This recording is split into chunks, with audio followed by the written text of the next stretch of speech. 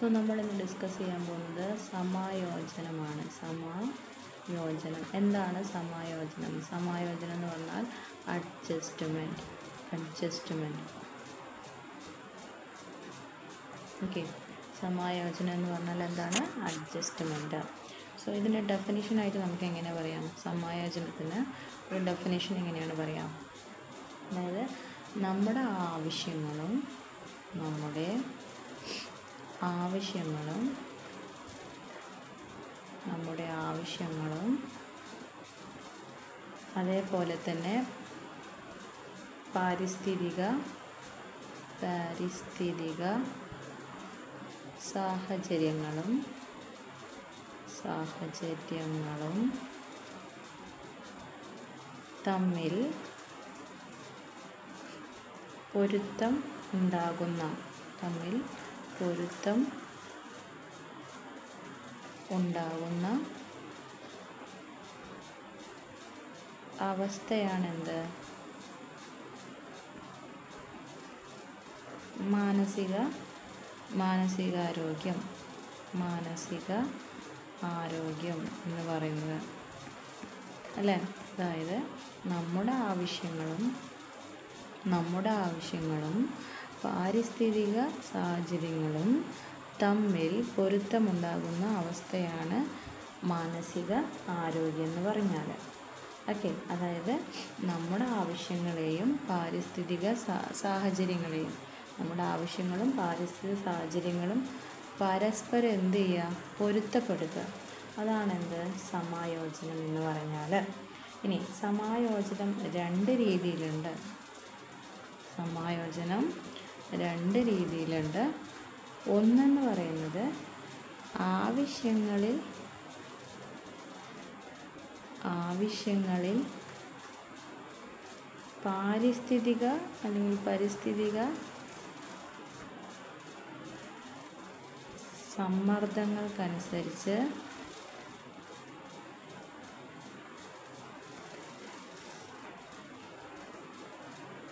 മാറ്റം വരുത്തുക. അല്ലെങ്കിൽ ഉപേക്ഷിക്കുക. അല്ലെങ്കിൽ എന്ത് ചെയ്യാണ്? ഉപേക്ഷിക്കുക. അതായത് നമ്മുടെ ഒരാവശ്യം നമ്മുടെ ആവശ്യങ്ങളിൽ പെടുന്ന ഒരാവശ്യത്തിനെ പരിസ്ഥിതിക സമ്മർദ്ദങ്ങൾക്കനുസരിച്ചോ എന്ത് ചെയ്യുക? മാറ്റം വരുത്തുകയോ അല്ലെങ്കിൽ വേറൊന്ന് വാങ്ങുക. അങ്ങനത്തെ നമ്മുടെ നമുക്ക് ആവശ്യമുള്ളൊരു സാധനമാണ്. പക്ഷേ ചില പരിസ്ഥിതിക സമ്മർദ്ദങ്ങൾക്കും അനുസരിച്ചിട്ട് നമ്മൾ ആ ആവശ്യം എന്ത് ചെയ്യാണ്? ഒന്നുകിൽ ആ ആവശ്യത്തിൽ മാറ്റം വരുത്തുക അല്ലെങ്കിൽ ആ ആവശ്യം എന്ത് ചെയ്യുക? പാടെ ഉപേക്ഷിക്കുക. അതാണ് ഒന്നാമത്തെ അഡ്ജസ്റ്റ്മെന്റ് എന്ന് പറഞ്ഞു കഴിഞ്ഞാൽ രണ്ടിന് ഉദാഹരണം പാരിസ്ഥിതിക സാഹചര്യങ്ങളിൽ പാരിസ്ഥിതിക സാഹചര്യങ്ങളിൽ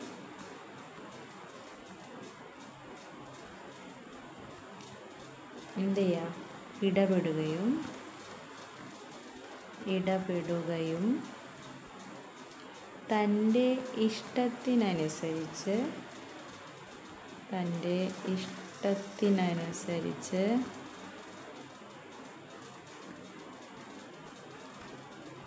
അതേപോലെ തന്നെ തന്റെ കഴിവിനും അനുസരിച്ച്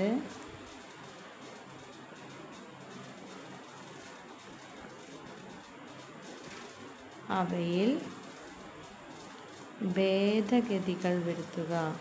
അവയിൽ ഭേദഗതികൾ വരുത്തുക. ഓക്കെ.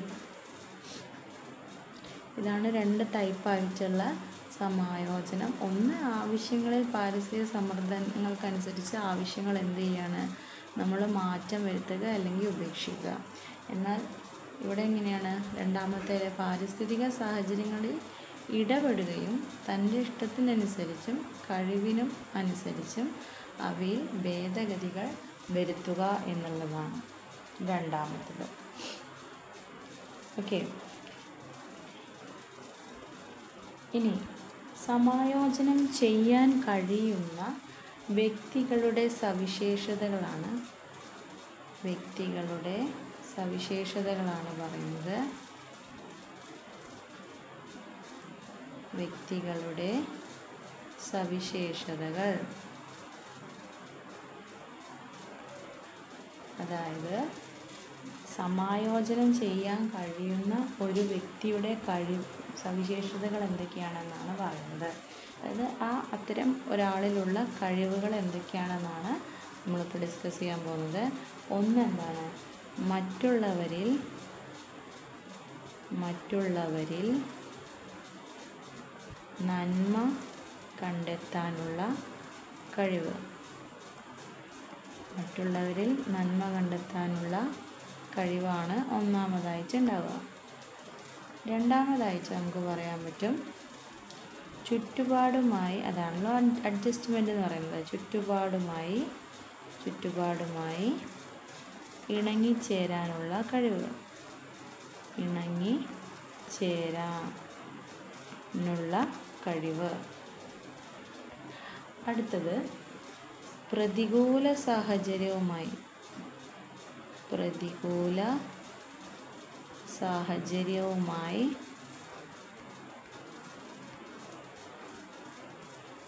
പൊരുത്തപ്പെടുക. പൊരുത്തപ്പെടുന്നതിനുള്ള കഴിവ്. അതായത് നമുക്ക് ഇഷ്ടമില്ലെങ്കിൽ കൂടി അത് അക്സെപ്റ്റ് ചെയ്യുക എന്നുള്ളതാണ് പ്രതികൂല സാഹചര്യവുമായി പൊരുത്തപ്പെടുന്നതിനുള്ള കഴിവെന്ന് പറയുന്നത്.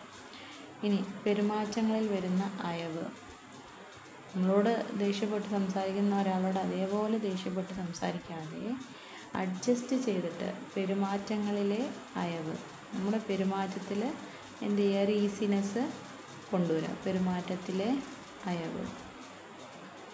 അതും എന്തിനുള്ള കഴിവാണ്? സമായോജനത്തിനുള്ള കഴിവാണ്. ഇനി ഇത്തരം ആളുകൾക്ക് സെൽഫ് റെസ്പെക്റ്റ് അതേപോലെ അവർ മറ്റുള്ളവരെ എന്തു ചെയ്യും? മറ്റുള്ളവരെ ബഹുമാനിക്കും. സ്വയം ബഹുമാനിക്കും. മറ്റുള്ളവരെ എന്ത് ചെയ്യും? ബഹുമാനിക്കും. അടുത്തത് ആറാമത്തേതായിട്ട് നമുക്ക് പറയാം. ജീവിതത്തെക്കുറിച്ച് ജീവിതത്തെക്കുറിച്ച് സന്തുലിതമായ കാഴ്ചപ്പാട്.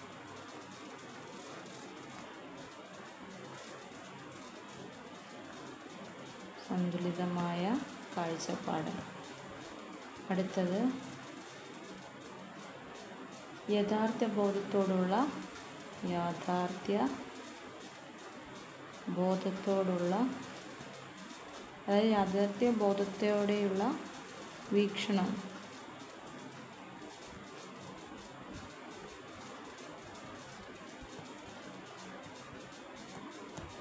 അവസാനമായിട്ട് ഇതെന്ത് പറയാം? സ്വന്തം ശക്തി ദൗർലഭ്യങ്ങളെക്കുറിച്ച് സ്വന്തം കഴിവിനെക്കുറിച്ച് അറിയും. സ്വന്തം ശക്തി ദൗർലഭ്യങ്ങളെക്കുറിച്ച് കുറിച്ചുള്ള വ്യക്തമായ ധാരണ. അതായത് നമുക്ക് എന്തൊക്കെ കഴിവുകളുണ്ടോ അല്ലെങ്കിൽ നമുക്ക് എന്തൊക്കെ കഴിവുകളുണ്ടോ ഇതൊക്കെ നമുക്ക് അറിയാനായിട്ട് പറ്റും. ഇത് സമായോജനം അഡ്ജസ്റ്റ് ചെയ്യാൻ കഴിയുന്ന ഒരു വ്യക്തിക്ക് തന്റേതായ കഴിവുകളും അതേപോലെ തന്നെ ദൗർലഭ്യങ്ങളെക്കുറിച്ചും അറിയാം എന്നാണ് പറയുന്നത്. ഓക്കെ ഇനി അപ്പം നമ്മൾ സമായോജനം എന്ന് പറഞ്ഞാൽ അഡ്ജസ്റ്റ്മെന്റ് ആണെന്ന് പറഞ്ഞു. അതിന്റെ നേരെ ഓപ്പോസിറ്റാണ് എന്ത്?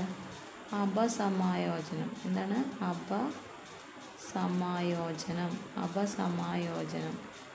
അപസമായോജനം എന്ന് പറഞ്ഞു കഴിഞ്ഞാൽ മാൽ അഡ്ജസ്റ്റ്മെന്റ് മാൽ അഡ്ജസ്റ്റ്മെന്റ് എന്താണ് മാൽ അഡ്ജസ്റ്റ്മെന്റ് എന്ന് പറഞ്ഞു കഴിഞ്ഞാൽ ഒരു വ്യക്തിക്ക് ഇവിടെ ഒരു വ്യക്തിയുണ്ട് ഒരു വ്യക്തിക്ക് അയാളുടെ പരിസരവുമായി ഉണ്ടാകുന്ന അയാളുടെ അയാളുടെ പരിസരവുമായിട്ടുണ്ടാകുന്ന ഇണക്കക്കുറവിന്. ഇണക്ക കുറവ് എന്നാൽ ഇണക്കം അതായത് പൊരുത്തപ്പെട്ട് താ- ജീവിക്കുന്നതാണെന്ത്? സമായോജനം. എന്നാൽ ഇണക്കക്കുറവ് പൊരുത്തപ്പെടാൻ പറ്റാത്ത സാഹചര്യത്തിനെയാണ് എന്ത് വിളിക്കുന്നത്? അപസമായോജനം എന്ന് പറയുന്നത്. എന്തൊക്കെ കാരണങ്ങൾ കൊണ്ടായിരിക്കും? ഒന്ന് ദുരനുഭവം. ഒന്ന് ദുരനുഭവം. പിന്നെന്തായിരിക്കും? മോഹഭംഗം മോഹഭംഗം. ഒന്നും ചെയ്യാൻ ഒന്നും നടക്കാത്ത അവസ്ഥ. മാനസിക സംഘർഷം മാനസിക സംഘർഷം. ശാരീരിക ക്ഷമതയിലുള്ള കുറവ് ശാരീരിക ക്ഷമത കുറവ്. താഴ്ന്ന അഹംബോധം തന്നെക്കുറിച്ചുള്ള കഴിവ് കേടുകളെക്കുറിച്ചും കഴിവിനെക്കുറിച്ചുമുള്ള ബോധം എന്താണ്? കുറവായിരിക്കും. അഹംബോധം ഉചിതമായ തീരുമാനങ്ങൾ എടുക്കാൻ കഴിയാത്ത അവസ്ഥ. ഉചിതമായ തീരുമാനങ്ങൾ എടുക്കാൻ കഴിയാത്ത അവസ്ഥ. ഓക്കെ. ഇനി നമുക്ക് കുറച്ച് സമായോജന തന്ത്രങ്ങളെ കുറിച്ചാണ് പഠിക്കാനുള്ളത്. സമായോജന തന്ത്രങ്ങൾ.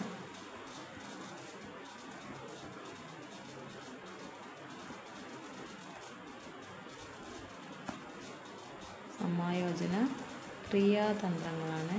സമായോജന ക്രിയാതന്ത്രങ്ങൾ. ഒന്ന് നിഷേധം. എന്താ നിഷേധം എന്ന് പറഞ്ഞാൽ ഇഷ്ടമില്ലാത്തത് എന്തൊക്കെ വരാം നിഷേധത്തിൽ ഇഷ്ടമില്ലാത്തത് കാണാതെ പോവുക അല്ലേ? കണ്ടില്ലെന്ന് നടിക്കുക. അതൊരു നിഷേധമാണ് അത് അതായത് അല്ലെങ്കിൽ യാഥാർത്ഥ്യത്തെ നിഷേധിക്കുക. യാഥാർത്ഥ്യത്തിനെ അക്സെപ്റ്റ് ചെയ്യാൻ കഴിയാതെ യാഥാർത്ഥ്യത്തെ എന്ത് ചെയ്യാണ്? നിഷേധിക്കുകയാണ്. ഓക്കെ. അതായത് യാഥാർത്ഥ്യത്തിൽ നിന്ന് അരോചകമായിട്ടുള്ള അവന് അയാൾക്ക് ഇഷ്ടപ്പെടാത്ത അരോചകമായ യാഥാർത്ഥ്യത്തിൽ നിന്ന്. ഓക്കെ. അയാൾക്ക് ഇഷ്ടപ്പെടാത്ത അരോചകമായ യാഥാർത്ഥ്യത്തിൽ നിന്ന് രക്ഷപ്പെടാൻ. ഓക്കെ. സ്വയം രക്ഷപ്പെടാൻ വേണ്ടിയിട്ട് എന്ത് ചെയ്യണം? രക്ഷപ്പെടുന്നതിന് ചിലർ സ്വീകരിക്കുന്ന വഴിയാണ്. എന്ത് നിഷേധിക്കുക എന്ന് പറയുന്നത്. അതായത് യാഥാർത്ഥ്യത്തെ എന്ത് ചെയ്യാണ്? നിഷേധിക്കുകയാണ്. അടുത്ത രണ്ടാമതായിട്ട് നമുക്ക് പറയേണ്ടത് ദമനമാണ് ദമനം. എന്താ ദമനം എന്ന് പറഞ്ഞാൽ? ദമനം എന്ന് പറഞ്ഞാൽ റിപ്രഷൻ റിപ്രഷൻ എന്താ റിപ്രഷൻ അതായത് വേദനാജനകമായ അനുഭവങ്ങൾ. അതായത് ഇപ്പം ഒരു ഡെലിവറി കഴിഞ്ഞിരിക്കുന്ന ഒരു ലേഡി ആ സമയത്തുണ്ടായിരിക്കുന്ന എല്ലാ കാര്യങ്ങളും എല്ലാ പെയിൻഫുള്ളായിട്ടുള്ള എഫക്ട്സുകളും അത് അവരുടെ അബോധ മനസ്സിലേക്ക് എന്ത് ചെയ്യും? അബോധ മനസ്സിലേക്ക് തള്ളിവിടും. അത് കഴിഞ്ഞ് ഒരു അവർ വീണ്ടും ഗർഭിണിയാവും അല്ലേ? ഈ ഒരു പെയിൻഫുള്ളായിട്ടുള്ള മെമ്മറി അവർക്ക് ഉണ്ടായിരുന്നെങ്കിൽ അവരെന്ത് ചെയ്യില്ല? പിന്നെ അതിന് നിൽക്കില്ല പക്ഷെ അതിനെ അവർ ദമനത്തിന് വിട്ടു അതായത് റിപ്രഷനിലേക്ക് അബോധ മനസ്സിനെ ഇട്ട് വിട്ടുകൊടുത്തു. ഓക്കെ അപ്പോൾ അതായത് വേദനാജനകമായ വേദനാജനകമായ എന്ത്? അനുഭവങ്ങളും അനുഭവങ്ങളും മാനസിക സംഘർഷങ്ങളും മാനസിക സംഘർഷങ്ങളും എങ്ങോട്ട് തള്ളി തള്ളിവിടുകയാണ് സാക്ഷാ അതേപോലെ തന്നെ സാക്ഷാത്കരിക്കാനാവാത്ത ഓക്കെ തന്നെ കൊണ്ട് പറ്റാത്ത കാര്യങ്ങളെ എങ്ങോട്ട് വിടുകയാണ്. അബോധ മനസ്സിലേക്ക് അബോധ മനസ്സിലേക്ക് തള്ളിവിടുന്നു. ഓക്കെ. അതാണെന്ത്? ധമനം എന്ന് പറഞ്ഞാൽ അടുത്തതായിട്ട് മൂന്നാമതായിട്ട് നമുക്ക് പഠി നോക്കാനുള്ളത് യുക്തീകരണം. യുക്തീകരണം. അല്ലെങ്കിൽ റാഷണലൈസേഷൻ റാഷണലൈസേഷൻ എന്ന് പറയും. അല്ലെങ്കിൽ നമ്മളതിനെ ന്യായീകരണം എന്ന് പറയും. ന്യായീകരണം. ഓക്കെ അതെന്താണെന്ന് നോക്കാം. പരാജയങ്ങളെ അപ്പോൾ ഒരു സ്ഥലത്ത് നമ്മൾ പരാജയപ്പെട്ടാൽ നമ്മളത് തെറ്റായ കാരണങ്ങൾ കണ്ടെത്തി ന്യായീകരിക്കാം. തെറ്റായ കാരണങ്ങൾ കണ്ടെത്തി എന്ത് ചെയ്യുക ന്യായീകരിക്കുക. അതാണെന്ത്? യുക്തീകരണം എന്ന് പറയുന്നത്. ഓക്കെ സോ ഇത് രണ്ട് രീതിയിൽ നമുക്ക് പറയാം. ഒന്ന് എന്താണ്? മധുരിക്കുന്ന നാരങ്ങ. മധുരിക്കുന്ന നാരങ്ങ. മറ്റേതെങ്ങനെയും പറയാം. പുളിക്കുന്ന മുന്തിരി. പുളിക്കുന്ന മുന്തിരി. ഓക്കെ അപ്പോൾ ഇതിന് എക്സാമ്പിൾ എങ്ങനെയാണ് പറയാം? ഉള്ളിലെ സങ്കടം. നമുക്കുള്ളിൽ സങ്കടമുണ്ട്. പക്ഷേ അത് ഉള്ളിൽ അടക്കി പിടിച്ചുകൊണ്ട് ഇപ്പോഴത്തെ അവസ്ഥയിൽ താൻ വളരെ സന്തോഷവാനാണെന്ന് പറയുന്ന അവസ്ഥയാണെന്ത്? മധുരിക്കുന്ന നാരങ്ങ എന്നാൽ പൊളിക്കുന്ന മുന്തിരി എന്ന് പറഞ്ഞാൽ വിചാരിക്കുന്ന കാര്യം സംഭവിക്കാതെ ഇരുന്നാൽ അത് സംഭവിക്കാത്തത് നന്നായി എന്ന് ന്യായീകരണം. അതാണെന്ത്? കിട്ടാത്ത മുന്തിരി പുളിക്കും എന്ന് നമ്മൾ പറയുന്നത് പുളിക്കുന്ന മുന്തിരി. ഓക്കെ. ഇനി നാലാമതായിട്ട് പറയാനുള്ളതാണ് പ്രക്ഷേപണം. അതായത് പ്രൊജക്ഷൻ ഒരാളുടെ നേരത്തെ ഏൽപ്പിക്കുക. കുറ്റങ്ങൾ അടിച്ചേൽപ്പിക്കുക അല്ലേ? എന്താണ്? പ്രക്ഷേപണം. അല്ലെങ്കിൽ പ്രൊജക്ഷൻ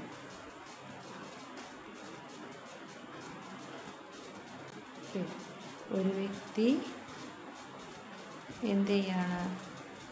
തന്റെ കുറ്റങ്ങൾ ആ വ്യക്തിയുടെ കുറ്റങ്ങൾ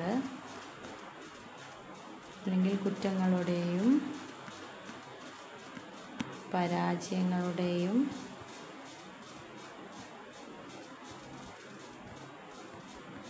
കാരണം മറ്റൊരാളിൽ ചുമത്തുന്നതാണെന്ത്? പ്രക്ഷേപണം എന്ന് പറഞ്ഞാൽ ഓക്കെ. എന്നിട്ട് അതിൽ നിന്ന് എന്ത് ചെയ്യുക? രക്ഷപ്പെടുക. അതായത് മാർക്ക് കുറഞ്ഞാൽ പരീക്ഷയിൽ മാർക്ക് കുറഞ്ഞാൽ അത് ആരെ കാരണമാണ്?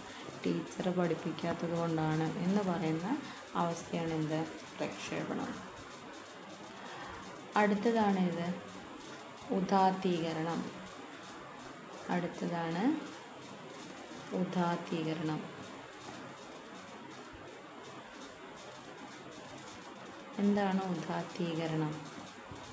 ഉദാത്തീകരണം എന്ന് പറഞ്ഞാൽ സബ്ലിമേഷൻ. സബ്ലിമേഷൻ. അതായത് അസ്വീകാര്യമായ ആഗ്രഹങ്ങളെ അസ്വീകാര്യമായ ആഗ്രഹങ്ങളെ ശക്തമായ സാമൂഹികാംഗീകാരമുള്ള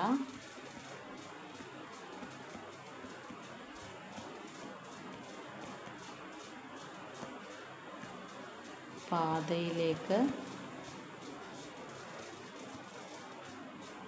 തിരിച്ചുവിടുന്ന പ്രക്രിയ തിരിച്ചുവിടുന്ന പ്രക്രിയ. എന്നുള്ളത് എന്താണ്? അനുപൂരണമാണ് അനുപൂരണം അനുപൂരണം അല്ലെങ്കിൽ അതിനെ കോമ്പൻസേഷൻ എന്ന് പറയും. അനുപൂരണം അല്ലെങ്കിൽ കോമ്പൻസേഷൻ എന്താണ് അനുപൂരണം എന്ന് പറഞ്ഞാൽ?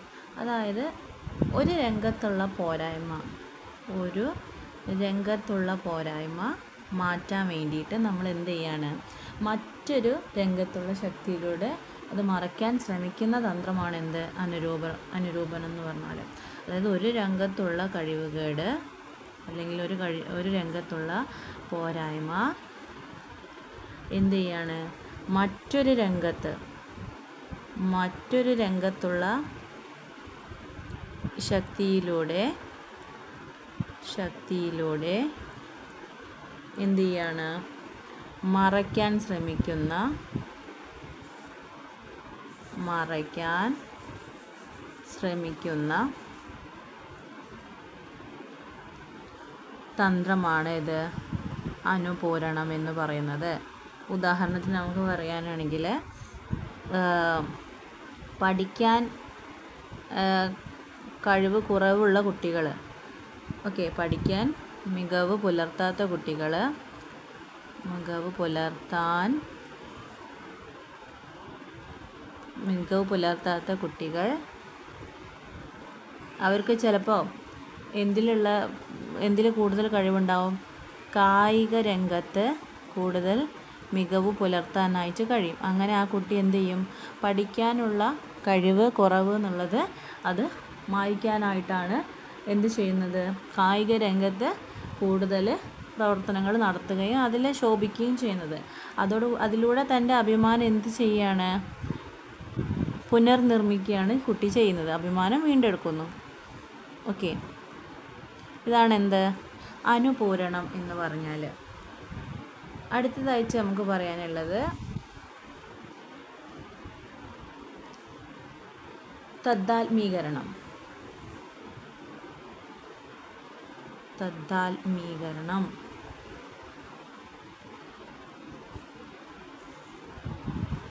അല്ലെങ്കിൽ ഐഡന്റിഫിക്കേഷൻ എന്ന് പറയും. ഐഡന്റിഫിക്കേഷൻ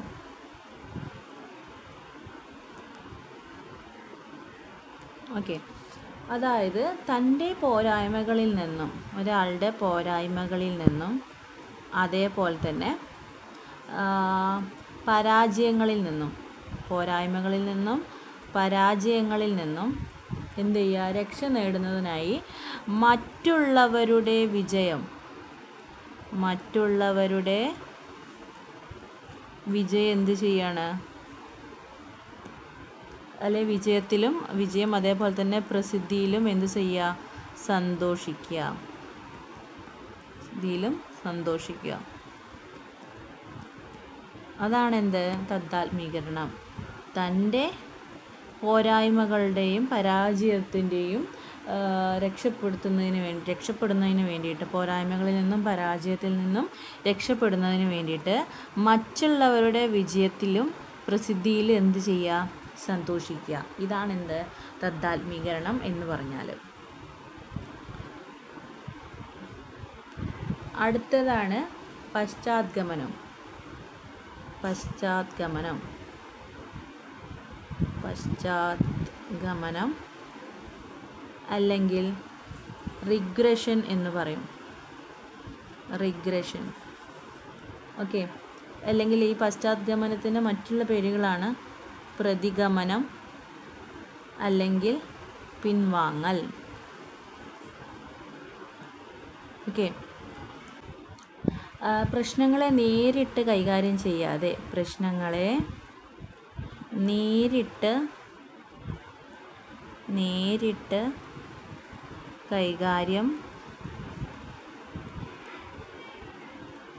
ചെയ്യാതെ എന്തു ചെയ്യാണ്? പിൻവാങ്ങി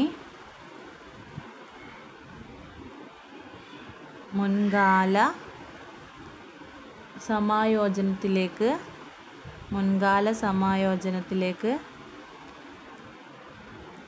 പോവുക. ഓക്കെ. അതായത് രണ്ട് കുട്ടികളുണ്ടെങ്കിൽ മൂത്ത കുട്ടി എന്ത് ചെയ്യും? ശ്രദ്ധ ലഭിക്കാൻ വേണ്ടിയിട്ട് ഇളയ കുട്ടീനെ പോലെ പെരുമാറുന്നതാണെന്ത്? പശ്ചാത്ഗമനം അല്ലെങ്കിൽ റിഗ്രഷൻ എന്ന് പറയുന്നത്. സോ ഇത്രയാണ് സമായോജന ക്രിയാതന്ത്രങ്ങൾ എന്ന് പറയുന്നത്.